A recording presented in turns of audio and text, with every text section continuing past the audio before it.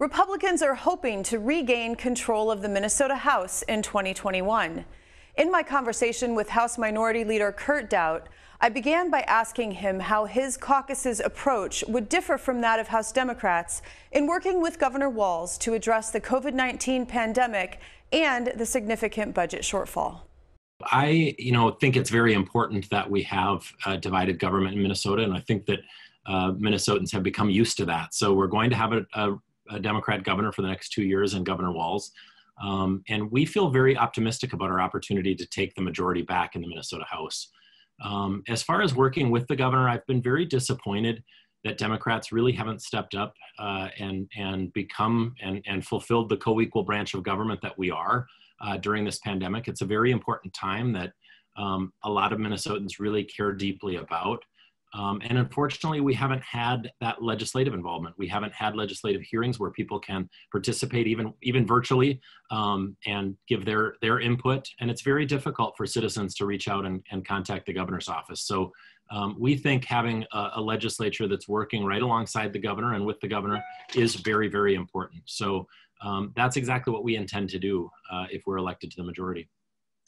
You have extensive experience addressing budget shortfalls. What concerns you most about the shortfall that's going to face uh, lawmakers in 2021, especially with the knowledge that Minnesota Federal Reserve President Neel Kashkari says it may take some time to rebuild the economy? Well, I have been uh, the only one kind of sounding the alarm as to how bad things actually are right now uh, for our budget. Uh, we have seen about a $9 billion uh, turn to the negative just in the last six months um, and that's con- uh, projected to continue into the next biennium. We currently have a two and a half billion dollar deficit in the in the current biennium. Um, that our, our governor's current plan is to spend the reserves down to zero.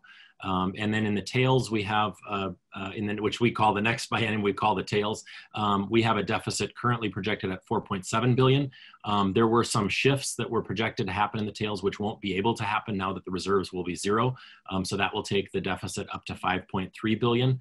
Um, and, and that's very, very difficult and challenging when we have made no corrective action during the current biennium um, that could make our job easier in the tails. So I have been sounding the alarm fairly loudly, and, and I think we need to take action as, as soon as we can um, to find the efficiencies in government that we need to uh, to make sure that we're able to, to handle this budget deficit. In addition to uh, budget shortfalls, the state has tools that, that can aid businesses uh, to get that economy jump started again once it is, you know, we're able to do so. What would your caucus do to help those businesses get going? Well, we specifically uh, gave businesses um, a lot of uh, flexibility. We gave counties and cities a lot of flexibility to help businesses in the COVID CARES Act money that came from the federal government that we then passed on to local units of government. Our hope is that many of those local units of government have helped out uh, with grants um, and loans, helped out businesses in their communities. So um, that was our intent uh, with that language and, and we're going to hope that that's successful although we won't know probably until the end of the year we also want to promote job growth um, on, on projects that we know are, are ready uh, mainly that's uh, line three in northern minnesota it's replacement of an oil pipeline um, that was originally recommended to be replaced by the obama administration uh, that particular project is $3 billion of private investment and would create uh, thousands of jobs, uh, thousands of good paying union jobs uh, in northern Minnesota. Unfortunately, Democrats have been against that replacement um, and have been trying to stop it at all cost. Um, and the problem is they're, they're really only stopping that, that economic boost to our economy. And, and frankly, uh, you know, we think that the local units of government could use that property tax revenue, and we think Minnesotans could use those jobs. Minnesota already suffers one of the worst achievement gaps in education in the nation, and experts fear that the pandemic is only exacerbating those disparities.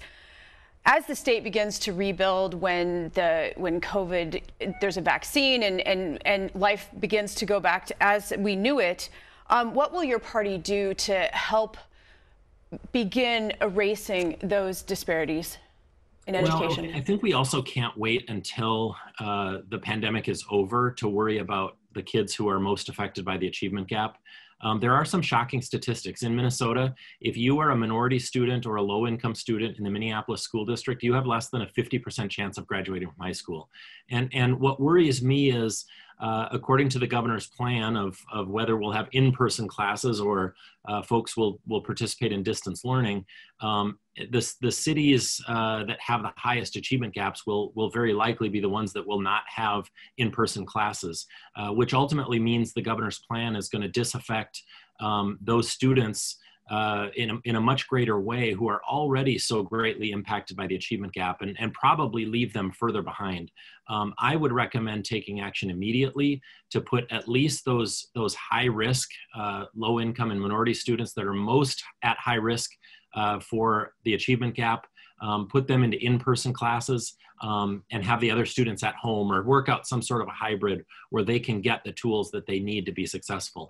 Um, beyond that, I think we need to to exercise school choice um, and give parents of, of low income uh, parents and, and minority uh, student parents the ability to put their kids into the best education situation that works for them. Um, you know, I've kind of coined the term recently that private schools shouldn't just be for rich kids. Um, they should be for any kid who needs that uh, learning environment. And if the public school isn't working for them, um, we need to get them in a situation that is working. And unfortunately, right now, um, with a graduation rate of less than 50% for the highest risk kids, um, that education system in our public schools is not working, and we cannot ignore it. Republicans in the House have been clear that Governor Walz should seize his emergency powers and allow people and businesses to deal with uh, COVID 19 as they see fit. Um, President Trump, people close to him, lawmakers in the nation's capital have since come down with COVID 19 following an event in the Rose Garden where there wasn't social distancing or mask wearing. How do you balance public health and personal responsibility? Well, I think first of all, COVID is a very serious issue. Um, it's incredibly deadly for folks that are in a, a high risk category. If you're you're uh, advancing in age uh, in a nursing home, if you have underlying conditions, um, we know that it's as severe or even more severe than originally projected.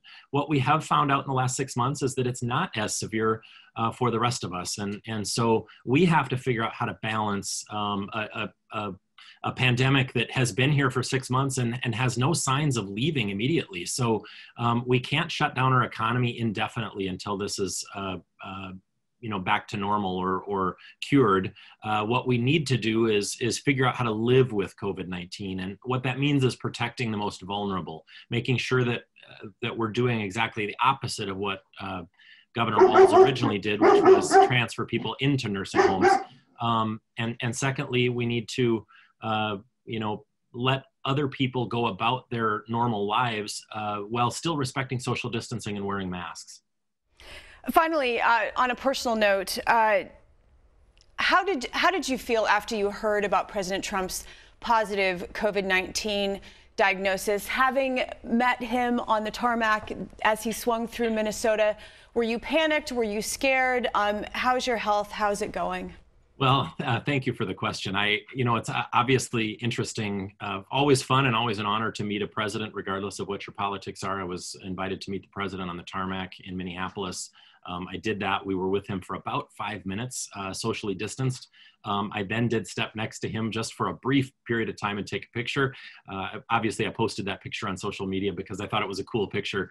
Um, 24 hours later, I woke up in a world where the, the president of the United States had uh, tested positive for COVID, and I was one of the people that he had exposed, um, and maybe one of the very few people that he had exposed, and, and probably one of the only people to get that close to him and post a photo of it um, in the recent days uh, prior. So um, I did go into uh, uh, quarantine and, and um, I've sought uh, one uh, COVID test for which I tested negative. I will seek at least one more and maybe two more um, just to make sure that we're, we're sa absolutely safe. So um, taking every precaution, but um, also uh, understand that my situation and interaction with the president was very low risk. It was outside. It was for less than uh, 30 seconds really. Um, and, and I don't think that meets the CDC guidelines of a close interaction, so, or close contact. So um, I'm taking uh, precautions probably beyond what the CDC would require.